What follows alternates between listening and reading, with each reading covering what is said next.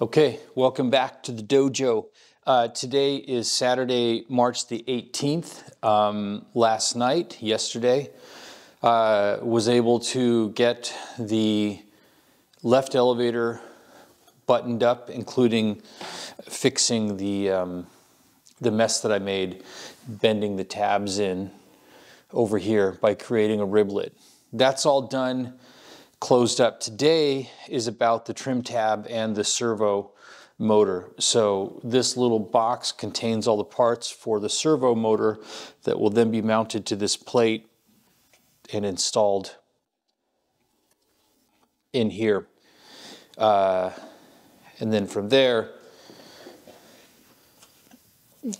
the servo motor will drive the, or the trim servo motor will drive the trim tab which needs to be bent and edge finished and folded. I think these ones will be a little bit easier um, to fold um, just because there's more room to work around uh, to work on it. So this needs to be bent and these need to be folded and then shaped and then the spar for it and everything to complete it to put that on.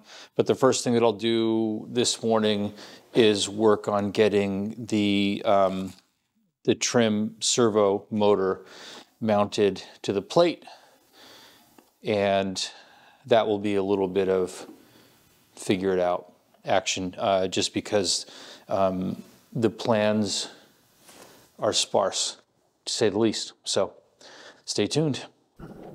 So the first part of the day's work is just um, getting the electric servo motor properly attached to the mounting plate.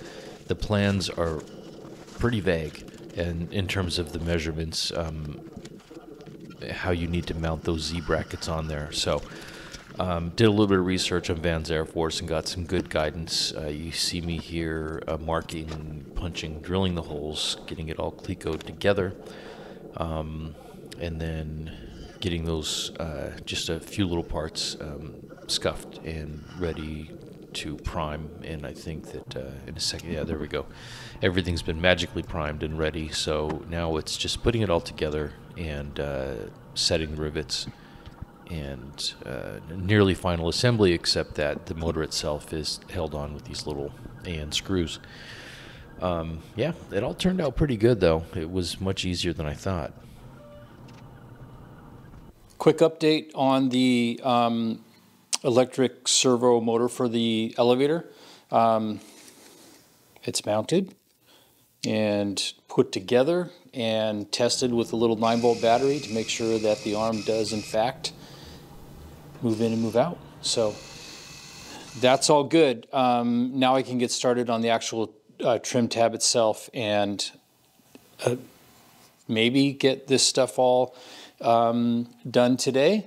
Uh, still remains to be seen. It is almost one o'clock, and tomorrow I leave town for an indefinite period. So we'll see what we can get done. But I'm pretty happy with this. Thanks to um, doing a little research on Van's Air Force. Um, was able to find the quickest and easiest way to get these um, little Z brackets um, properly aligned. Um, this this uh, plate right here um, initially doesn't have it. It has the seven outside holes for mounting it to the elevator, but these are not marked or present, and so you have to figure out. Anyways, Vans Air Force, do a little research if you're going to do this yourself. Um, I was lucky enough to see another builder's video saying that the measurements that are given in the plans by Vans aren't quite uh, correct, other than that it needs to be 3 eighths of an inch um, from the back of the plate right here, but in, laterally, um, those measurements are incorrect. So figure it out. Anyways, moving on. So the trim tab, just like all of the trailing edges on the RV8 um, empennage, has a folded trailing edge. So the first thing to do is get that bend, which is pretty easy on such a small part. And then uh, we'll get into the proper construction of the trim tab, and we're going to do the folded uh, closeouts like we tried to do on the elevator, but this time it's going to work out a lot better. So, doing the prep for that, you see I've got some MDF there and a little template, and I'm going to create the bending block. Um, the bending block that's going to be used in there. This turned out really well. Um, no problems to report. But I will say it's a lot easier than doing the one in the elevator because you just have a much smaller piece and there aren't, it's not as cumbersome and you don't have as many other things in the way when you're marking it and working with that double sided tape. So you'll see me get it all clamped down to the edge of the table. Start uh, start the bend with a block of wood, and then finish the bend with the um, with a rivet gun with a flush set, and kind of hammer it out. Uh, I'll tell you what, man, I'm double-sided tape, especially on four different surfaces, is a pain in the ass. Uh, but building a plane is uh, not easy, and there are certainly some cumbersome uh, aspects to it. But this turned out great. Um, took a bunch of pictures, which I should probably include some here in this video. Um, once the bending is all done, then we have to um, we have to put together the the little sort of baby spar for the trim tab. And um, what you'll see me doing here later on, this is working on the other end of the trim tab and the fold. Um, but what you see me doing later on is um, clamping that the little baby spar, I call it. You see me working with it right there, clamping it down to the edge of my bench, and then actually drilling some holes to the bench and clecoing it to the bench. Um, it's a weird little Z-shaped spar, and one portion of it needs to be machine countersunk because it's going to mate up to the piano hinge that will connect this to. Um, that'll connect it to the rest of the elevator. Uh, what you saw me doing there, those are the little uh, brackets that will attach to the servo motor. There's the piano hinge on there. Test fitting it. Um, I'm definitely going to pick up an edge marking tool um, because there are uh, things like this where you have to make a long edge that's always a consistent distance and you see it, that piano hinge doesn't come with any um, holes other than the ones that the, the hinge pin thread through. Uh, so you need to get those, and there's some fitting that has to be done. Um, I think the first thing you do, yeah, the first thing you do is get it match drilled to the spar, uh, the trim tab baby spar.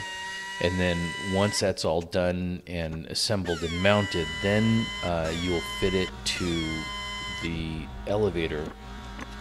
Um, and you don't you have to wait until that's all together then fit it to the elevator to make sure that you have it. There's here's what i'm talking about countersinking that spar right there.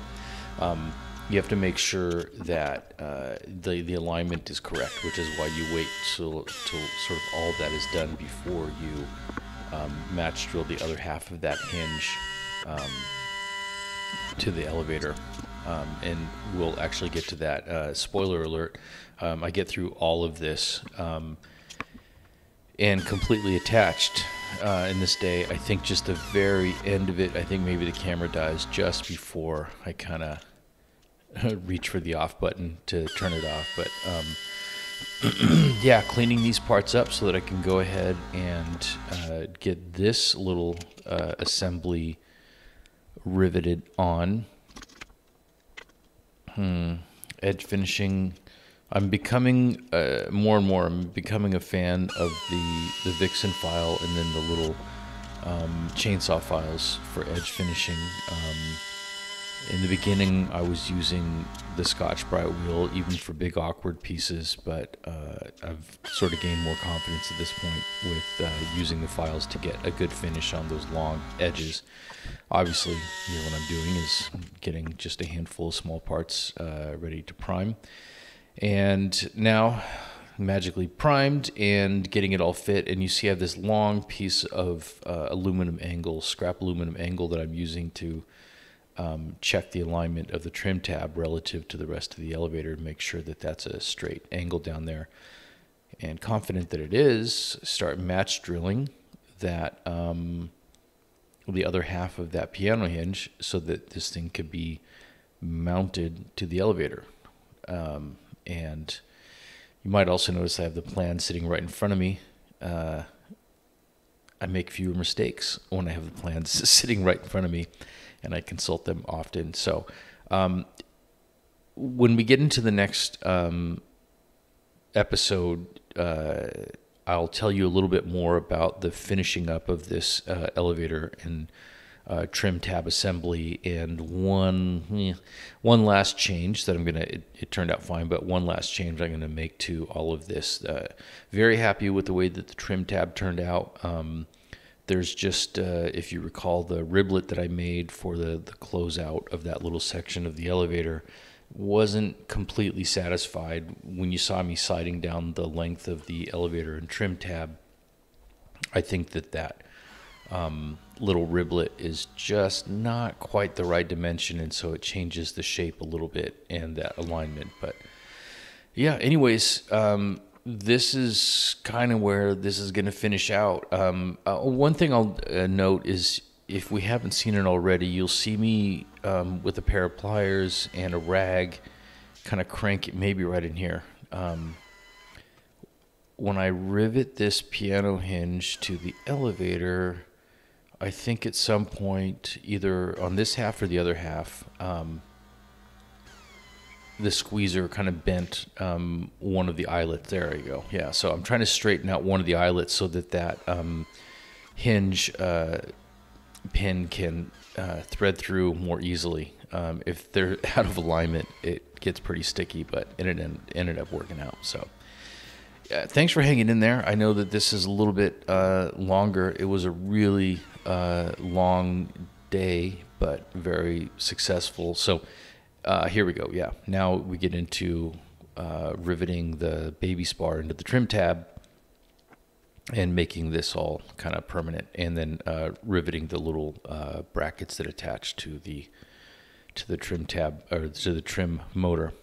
Anyways, uh, I think we're running out of uh, battery here, so thank thanks again for checking out my channel and uh, would love to hear your comments. Uh, definitely uh, throw me a like if you feel like it and subscribe if you want to see more, and I'll catch you on the next one. But you can watch this cool looking guy finish out before we go into the outro.